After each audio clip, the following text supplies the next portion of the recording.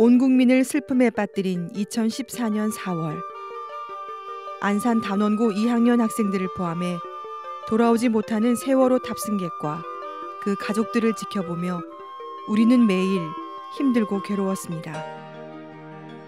세월호 참사 사흘째 날 시흥방송 제작진은 걱정하는 많은 시민들을 대신해 실종된 시흥 시민과 가족 고 박지영 씨의 임시 빈소가 있는 전남 진도로 향했습니다.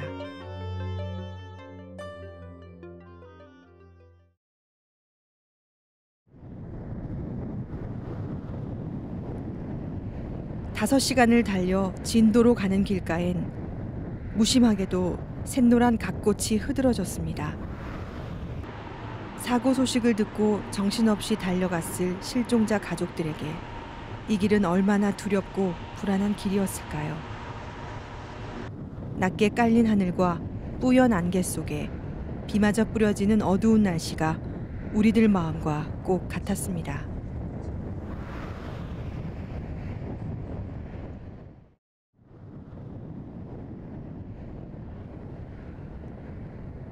여객선 침몰 사고의 상황본부가 차려진 진도군 실내체육관은 진입로에서부터 차량을 통제하는 많은 경찰들이 지금의 긴박한 상황을 말해 주었습니다. 사고가 난 지 사흘째. 체육관 안팎에는 전국 각지에서 모여든 취재진과 자원봉사자, 구호 물품이 가득했습니다. 조심스럽게 들어선 1층 체육관. 모포와 이불을 덮은 실종자 가족들 사이사이 탈진한 부모들이 수액을 맞으며 누워 있었습니다. 정면에 놓인 스크린을 바라보며 아이가 살아 돌아오기만을 기다리는 이들에게 고통의 시간은 너무나 천천히 흐르는 듯 했습니다.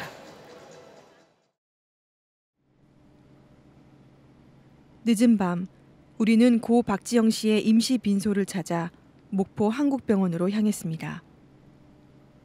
밤이 깊어서인지 더 이상 조문객들은 보이지 않고 길게 늘어선 국화꽃 화환 너머로 어머니와 여동생이 힘없이 빈소를 지키고 있었습니다.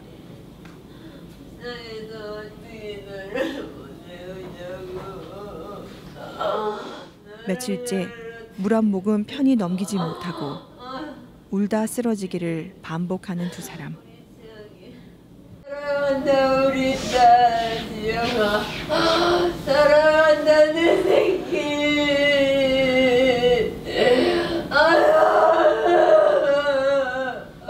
착하고 예쁜 딸을 이렇게 보내야 한다는 사실이 어머니는 믿어지지가 않습니다. 아유 사랑한다 사랑한다 내가 아지 사랑한다 엄마가 우리 딸 사랑한다 왜 이러고 있냐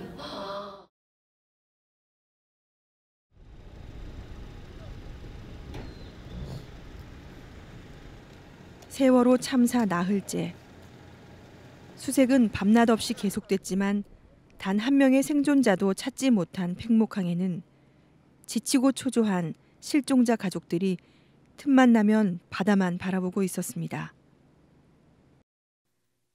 슬픔과 긴장감이 가득한 팽목항.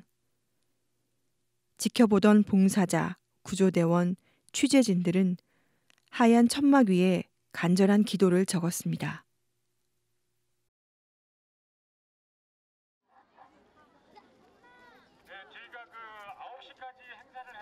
이틀 후 시흥에서는 시민들이 모여 촛불을 밝히기 시작했습니다.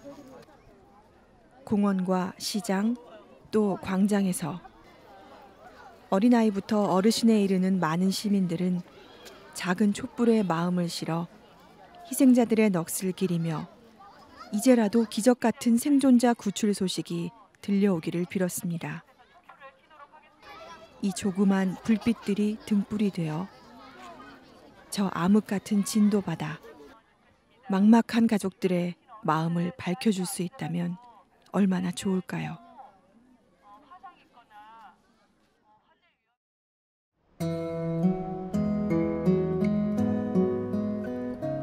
(22일) 아침 선사 측이 마련한 인천 인하대병원 장례식장에서 고 박지영 씨의 연결식이 있었습니다.